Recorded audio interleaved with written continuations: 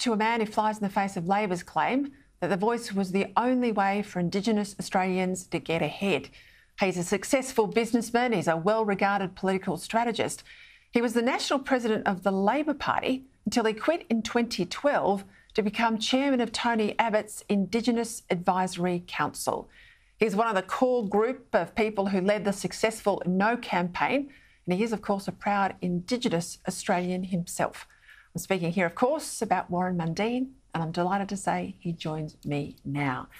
Well, I tell you what, uh, we know voters, Warren, we've been called dinosaurs, D heads, racists, a whole lot more. But last night on the project, a new label was added to the list. The biggest dividing line seems to have been education. So if you are in a seat that had high levels of tertiary education, a bachelor or postgrad, then you were, you were at the very top end of the yes vote. And if you had the lowest levels of tertiary education, you were at the, the low end of the yes vote. And that's not to say people who are educated know what they're doing and people who don't have tertiary education don't. Mm. It's about the style of the, the message, I think. So not just dinosaurs, D heads, racists, but now we're dumb.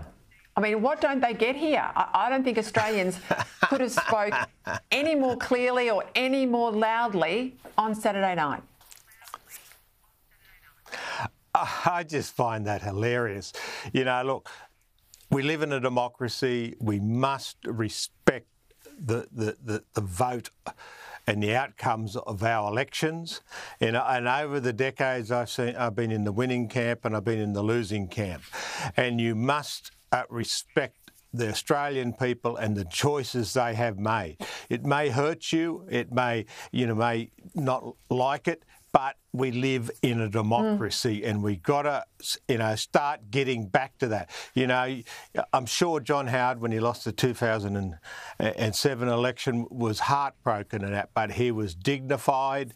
He didn't blame anyone. He just he just come out and conceded and and and moved on. And say, same with uh, uh, you know uh, prime ministers before that, going back through the, uh, uh, the entire history of federation.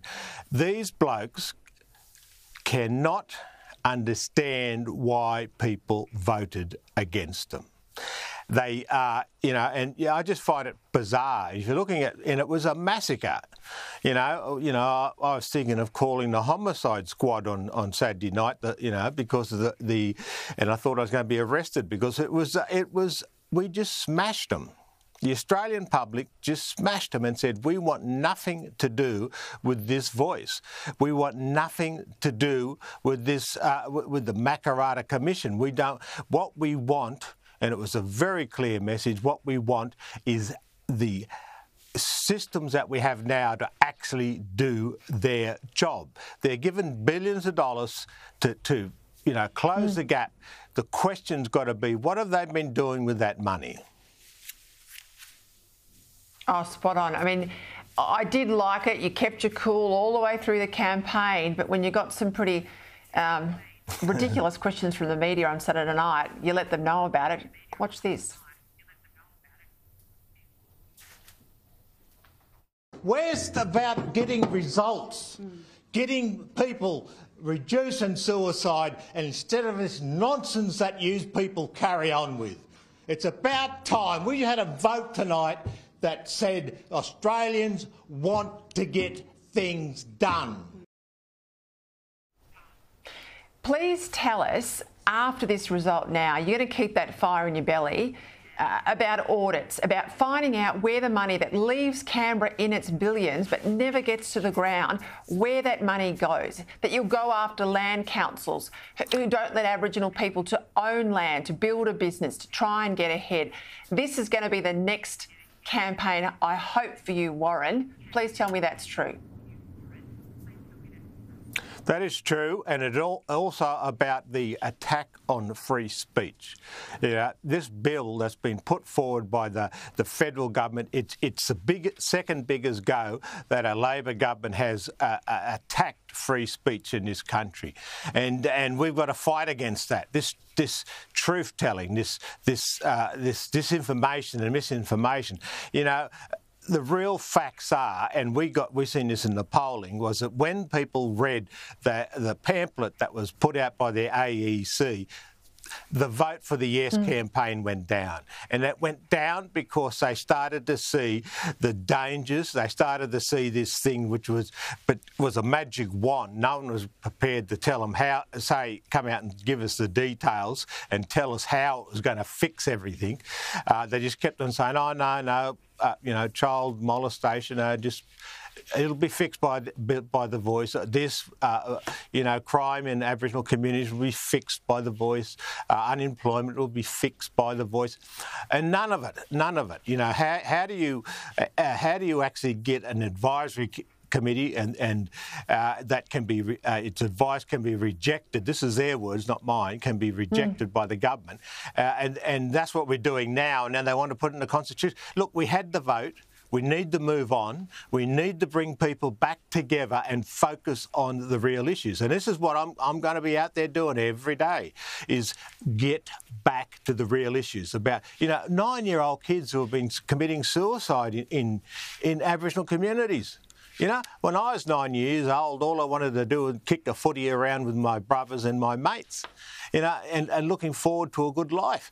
You know, they're looking mm. at their future and they can't see nothing, and so they commit suicide. For God's sake, it's about time the, the media woke up and started asking the real questions to, of governments at state, territory, and federal level mm. to do their job. I want to read out a, letter that I know you've only got in the last uh, couple of hours. It's, it's an email. Um, really moving. And this is from a bloke, and I'll, I'll read out what he said. He says, I've never done anything political in my life, but I was so disgusted by the guilt politics that have infected this country that I stood for 11 hours out the front of my polling booth alone in Victoria. And when I finally got home and took off my shoes and sat down, it was with a sense of shame that my one day must pale into insignificance to what you and Jacinta Price and your families must have had to endure over this period. My children, he says, have never seen me cry, but I was moved to tears when I saw your outburst at the media because I feel the same way too. I've rarely felt more humbled than now and am proud to have done my tiny part in this small victory for common sense and logic. Now, I've left the bloke's name out because uh, he, he took on all the yes people at his polling booth. He was the only no person handing out. I might add that polling booth went 65%, I think, uh, the way of no. So he's a pretty powerful yeah. uh, individual. But I mean, I read that and had tears in my eyes too, Warren. Uh, look, the Australian people, you know, I, am so proud of them. I'm so proud uh, of, of, people like him. You know, I went around the polling booths and the pre-polling uh, in in Western Australia, South Australia, Tasmania, Victoria, New South Wales, and Queensland. And, and we, we, we were struggling, and uh, we had didn't have the money uh, and it, things like that. And we had some booths we couldn't even man, and yet those booths still got a, a no vote and and he, I, am just so proud of him. He, he is an amazing, amazing human being, and, and and I met heaps of them out there who were who were being abused on the polling booths, being attacked. I, you know, I, have always been polite and, and, to volunteers, no matter what political party they're in, no matter what, because d- democracy works when people come out and, and volunteer and, and help help the process, help the candidates and all that. And so I always put my hand out to shake their hand. And, and, for the first time in my life, and I've been doing this for 30 years, uh, people refused to shake my hand. Uh, they gave me dirty looks. Wow. You know, but I, I, I, I, gotta, I gotta say that not all people were like that. There were some beautiful people who come up and gave me a cuddle uh, from the Yes campaign, and I and, and I even got photos with them.